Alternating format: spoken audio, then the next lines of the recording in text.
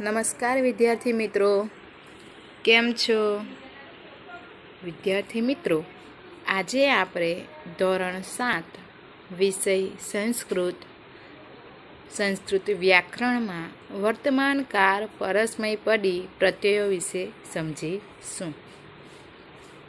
વર્તમાન કાળ પરસ્મય પડી પ્રત્યયોની સમજ મેળવતા પહેલાં આપણે ક્રિયાપદ અને પુરુષ અને વચનનો તફાવત અને ભેદ જોઈ લઈએ.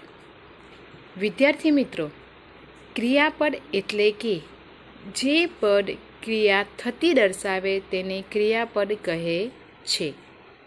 જેમ કે આપણે ગુજરાતીમાં જોઈએ તો રમેશ દોડે છે, અક્ષય લખે છે, તો લખે એ બધી ક્રિયાઓ દર્શાવે છે. અહીં આપણે સંસ્કૃતમાં જોઈએ તો અહમ નમામી ત્વ નમસી નુપહ નમન તે વિદ્યાર્થી મિત્રો, અહીં અહ નમામી, ત્વ નમસી નમંતિ નમંતી, એટલે કે નમામી, નમસી અને નમંતી એ ક્રિયાપદ દર્શાવે છે. પહેલાં વાક્યમાં ક્રિયાનો કરતા અહમ એ પહેલો પુરુષ છે. વિદ્યાર્થી મિત્રો, અહીં અહમ એ પહેલો પુરુષ છે. બીજા વાક્યમાં ક્રિયાનો કરતા, ત્વમ, એ બીજો પુરુષ છે. ત્વમ એટલે કે બીજો પુરુષ. ત્રીજા વાક્યમાં ક્રિયાનો કરતા નુપહ એટલે કે ત્રીજો પુરુષ છે. પુરુષ પ્રમાણે ક્રિયાપદનું રૂપ બદલાય છે. વિદ્યાર્થી મિત્રો, અહીં આપણે કરતા, પહેલો પુરુષ, બીજો પુરુષ, ત્રીજો પુરુષ જોયો. હવે એના એટલે કે જે કંઈ પણ ક્રિયાના કરતા છે, આ બધા છે, એ બધા શું છે? કરતા છે. તો કરતા દ્વારા એ અહીં ક્રિયાપદ રૂપ બદલે છે. હવે વિદ્યાર્થી મિત્રો, પહેલો પુરુષ અને વચન વિશે માહિતી મેળવીએ. ગુજરાતીમાં ત્રણ પુરુષો છે. જેમ કે પહેલો પુરુષ, બીજો પુરુષ અને ત્રીજો પુરુષ. સંસ્કૃતમાં તેને ઉત્તમ, મધ્યમ, અન્ય પુરુષ કહેવામાં આવે છે. ગુજરાતીમાં બે વચન છે.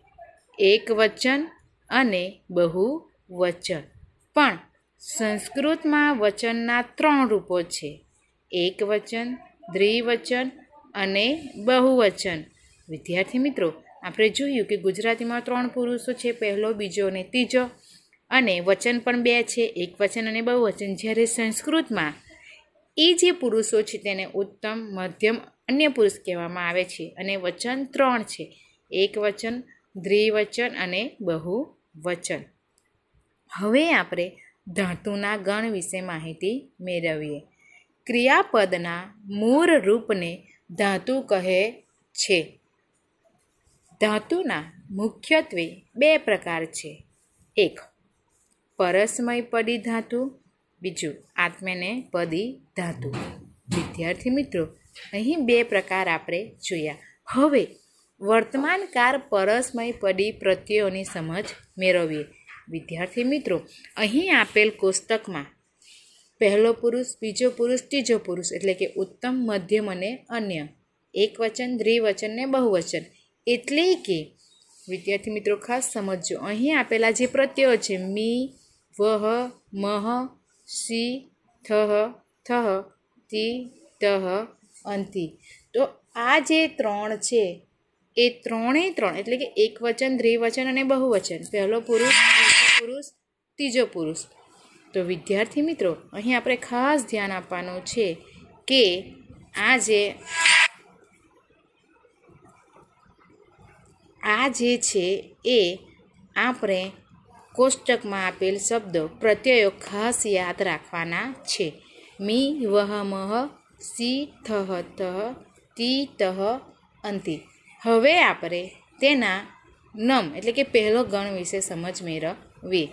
નમ એટલે નમવું એને એક વચન, દ્વિવચન અને બહુવચનમાં ફેરવીએ. ઉત્તમ, મધ્યમ અને અન્ય. નમામી નમા વહ નમા મહ નમસી નમથ નમથ, નમંતી, નમતઃ, નમંતી. તો વિદ્યાર્થી મિત્રો, આ થયું ખાસ વિદ્યાર્થી મિત્રો, તમને એક ફરી વાર કહી દઉં. વર્તમાનકાર પરસ્મય પડીના પ્રત્યયો આ જે આપેલ છે, એ સૌથી જરૂરી છે. એટલે કે એ સૌથી વધારે યાદ રાખવા જરૂરી છે. મી, વહ, મહ, સી ઠ ત, તી તહ અંતિ. હવે જોઈએ નૃતઃ. ચોથો ગણ નાચવું, નૃત્ય કરવું. એમાં એકવચન, દ્વિવચન અને બહુવચન. ઉત્તમ, મધ્યમ અને અન્ય. નૃત્યામી, નૃત્યાવહ, નૃત્યામહ, નૃત્યશી, નૃત્યથ નૃત્યથ, નૃત્યંતી, નૃત્યતઃ અને નૃત્યંતી. એટલે અહીં તમે જોયું, વિદ્યાર્થી મિત્રો, તો આ જે આપણે પ્રત્યયો છે વર્તમાનકાળ, પરસ્મય પડીના જે આ પ્રત્યયો છે એ પ્રત્યયો આ નૃત્યની પાછળ લખાડવામાં આવે છે. એવી જ રીતે કથ તો કથામાં કથ્યમી કથ્યવહ કથ્યમહ કથ્યસી કથ્યથ અને કથ્યથ કથ્યતી કથ અને કથ્યંતી એટલે કે આ જે આપેલ શબ્દ કથ અને જે નૂત, તો એની પાછળ વર્તમાનકાર પરસ્મય પડી પ્રત્યયો લગાવીને રૂપ બનાવવાના હોય છે, ગણ બનાવવાના હોય છે. થેન્ક યુ વિદ્યાર્થી મિત્રો.